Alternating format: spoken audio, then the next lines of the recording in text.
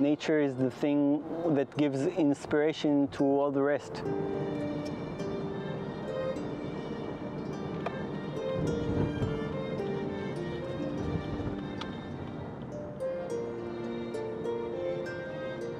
They will go to the farthest corners of the earth, sometimes risking their lives. They'll wait long hours, day and night, in all weather, just to capture one moment in their lens, in their effort to convey to us the wondrous beauty of nature, encompassed in one perfect shot. There is an ideology that motivates them, their desire to preserve nature and raise awareness of its importance.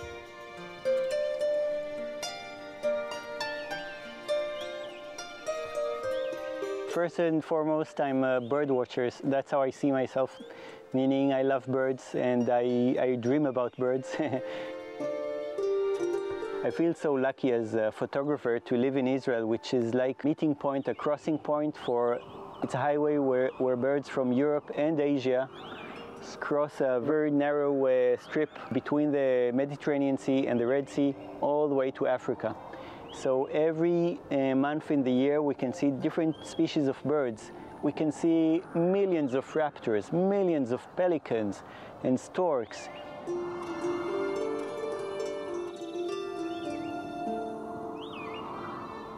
But this bliss and this beauty are marred by the threatening statistics. Sadly, the numbers of birds around the world have uh, dropped to 10% of what they have been uh, 50 years ago. It's hard to believe. And they are being hunted all around us in the Mediterranean countries, in Lebanon, in Syria, Jordan, and Egypt, hunted by millions.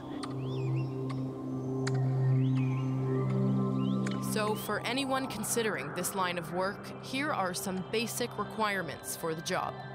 First of all, uh, lots of patience, being able to, to suffer disappointment because you have to understand that 99% of what you're going to do is going to be a complete failure. When you uh, rely on nature, uh, most of the time uh, the bird or animal will not come to where you planned.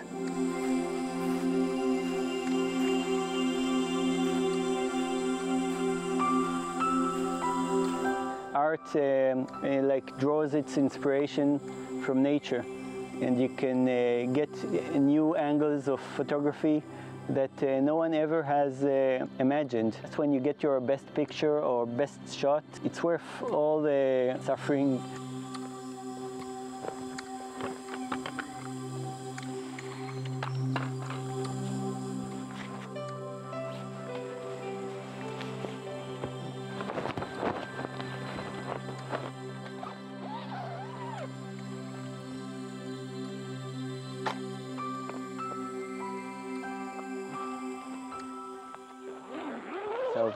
You need a persistence, wait for the right moment and even believe that this moment will come.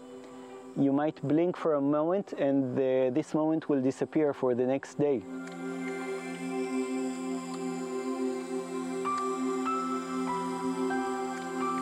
I had a project uh, trying to photograph a very, very rare desert tawny owl in the desert and it didn't appear, it didn't show up. I had to drive uh, three hours uh, in each direction uh, for about 20 nights uh, in order to try and uh, catch a glimpse of this bird. And eventually I managed and I was so proud of it because I was the first one to do it. Patience, motivation, and an abundance of faith are not enough. It is lady luck that often makes the difference. I was lucky to join a team of uh, photographers from the National Geographic that their mission was to get uh, one shot of a wolf uh, chasing uh, an ibex. And they did all the right things they should. They came on the right time of year, they waited the whole month. They woke up uh, two hours before sunrise just to be on the right spot, wait for the ibex, and after one month uh, they didn't get that shot and went back home. And uh, a month later, a young ranger, uh, amateur, uh, sent me this amazing uh, video from his uh, cellular phone that he saw a wolf chasing in mid midday an ibex and catching him. So it just shows me that besides being a, a professional, you need a lot of luck for nature photography.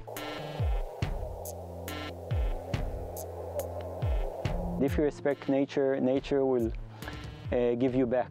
And if you feel that you are just coming to, to take something from nature and you create uh, damage to a bird's nest or to a mammal, you won't get uh, far with it. And uh, it creates much more damage to, to nature and to nature photography. We encountered many different desert dwelling animal life in the course of our stay, among them a pair of Tristram's starlings who nest in the cliffs.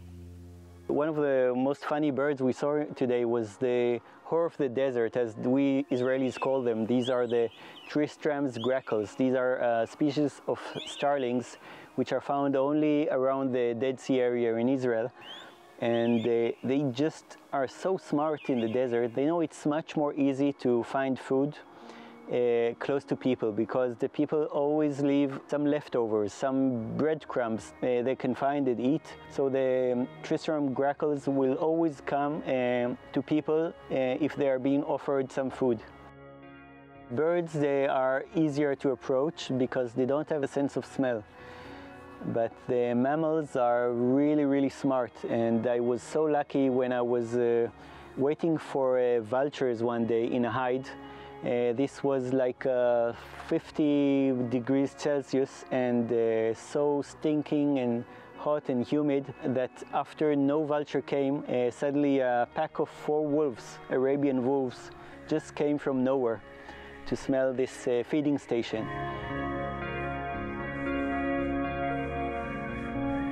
Some animals have a negative reputation, like the hyena or the wolf, but it's just a reputation and these animals are just looking for something to eat and they'll run away from you from kilometers. It's really, really hard to get close to these animals. In Israel, open spaces, wild and uninhabited, scarce as they are, must compete often with its growing military training needs. Nature has to share uh, military zones with the army. Nesting uh, birds like the vultures uh, suffer because of uh, jets flying very, very, very low by the cliffs. And many, many uh, nesting birds have disappeared because of these uh, drills. With so many threats to the region's natural habitats, some are trying to find solutions. We brought the AFN, the, the Artists for Nature Foundation, uh, members, which are nature artists from all over the world the best of their uh, profession to portray the Dead Sea. We held a meeting with 400 children, Palestinian, Jordanians, uh, Bedouins, and of course uh, Israeli Jews. And those children were exposed to both uh, art, nature conservation, and uh, children their age from all these countries together. The importance of nature conservation is a major reason some photographers are so committed to their work. But this commitment does not come without sacrifice. You know, a nature photographer uh, has, uh, has to be out of home for hours, for days, and for weeks, and uh, you pay a sacrifice with the family. You need a whole uh, family that will um, support you. Otherwise, you, uh, you need a family that will support you. Otherwise, you won't be able to do it. You need to be very persistent to have a deep uh, understanding of why you're doing it. If you do it because of uh, a deep passion for nature conservation, you might succeed.